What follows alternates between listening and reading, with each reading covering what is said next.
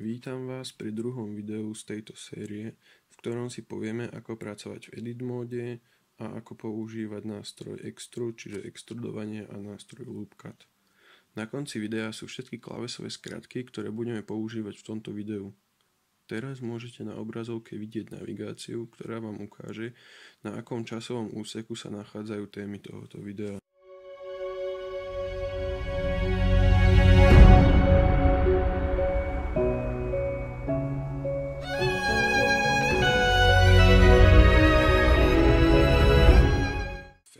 Mode môžeme upravovať mesh objekty, armatúry, krivky, text a podobne, ale kameru a svetlo v edit mode upravovať nemôžeme.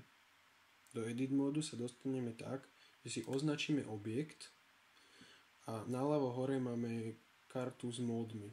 Tu si rozklikneme a klikneme na edit mode. Nachádzame sa v edit mode. Ďalším spôsobom je prejsť cez workspacey, ktoré sa nachádzajú hore. My sme v karte Layout a vedľa nie je karta Modeling, na ktorú keď klikneme, dostaneme sa zase do Edit modu. Treťou možnosťou, to najjednoduchšou, je použiť klávesovú skratku Tab. Zase sa nachádzame v Edit móde. Použijeme ju zase a prepneme sa naspäť do Object módu. Nachádzame sa v Edit móde. Vedľa karty Edit Mode máme ďalšie tri karty, s ktorými budeme pracovať v Edit mode neustále. Prvá z nich slúži na úpravu vertexov. Vertexy sú vrcholy kocky, ktoré keď si označíme, tak, mô, tak ich môžeme upravovať. Pomocou ďalšej karty upravujeme úsečky alebo hrany. Hrany sú úsečky, ktoré spájajú vertexy. Tiež označíme, môžeme upravovať. Poslednou kartou sú plochy, to nám slúži na úpravu celých ploch. Ďalej si ukážeme nástroj Extrude. Extrudovanie by sme mohli definovať ako duplikovanie vertexov, hrán a ploch objektov, ktoré sú však stále prepojené s pôvodnými, z ktorých sme ich zduplikovali. Klávesová skratka pre extrudovanie je klávesa E. Označíme si plochu, stlačíme klávesu E a myšou ťaháme extrudujeme. Extrudovanie môžeme zadávať aj pomocou čísel, a to tak, že stlačíme klávesu E a na čís- pomocou čísel si zadáme, akú veľkosť chceme. V našom prípade to bude veľko 2. Potvrdíme to ľavým tlačidlom myši alebo Enterom. Pozor, keď zadávame desatinné čísla, musíme použiť bodku a nie čiarku. Teraz si ukážeme 4 základné nástroje, ktoré nám slúžia na extrudovanie. Nájdeme ich vľavo v toolbare. Sú to tento, tieto. Keď si rozklikneme prvý, a klikneme na plochu, tak sa nám zobrazí žlté plusko, ktoré keď uchopíme, tak normálne extrudujeme.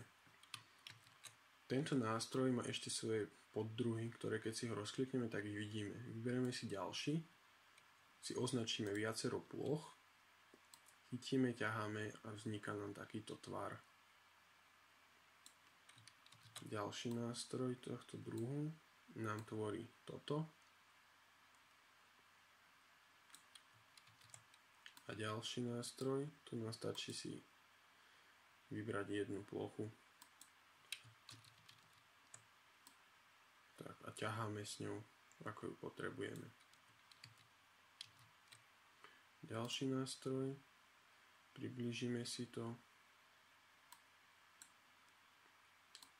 vlastne dáme do stredu, stlačíme Ečko a vyberieme si stĺp. Alebo si vyberieme iba tieto bočné, stlačíme Ečko a vyextrudujeme to. Jednoduché. Ďalší nástroj, tam si musíme trošku vybrať, zase použijeme čísla, stlačíme jednotku, ľavé tlačidlo myši a iba to dále stiahneme a vznikne nám taká pyramída. Ako ďalší, tu máme nástroj Loopcut, ktorý je posledný. Keď si ho vyberieme a ukážeme na objekt, zobrazí sa nám takáto žltá čiara. Klikneme a vytvoríme res. Toto nám slúži na rozdelenie objektu na viacero častí. Keď si vytvoríme ten res, tak naľavo dole sa nám vytvorí nová karta, ktorú keď si rozklikneme, tak môžeme upravovať počet tých rezov, toho loopcutu. Môžeme zmeniť tvar objektu. Tu môžeme meniť štýl toho rezu. Tu polohu.